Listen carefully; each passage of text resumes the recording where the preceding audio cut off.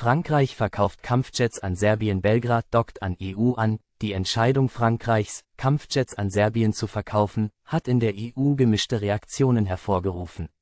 Einige sehen darin eine Möglichkeit, Serbien näher an die EU heranzuführen und die Beziehungen zu stärken, während andere besorgt sind über die Unterstützung eines Landes, das sich nicht eindeutig gegen Putins Aggressionen positioniert. Die Regierung in Belgrad begrüßt den Kauf der Kampfjets als wichtigen Schritt zur Modernisierung ihrer Luftwaffe und zur Stärkung der Verteidigungsfähigkeiten des Landes.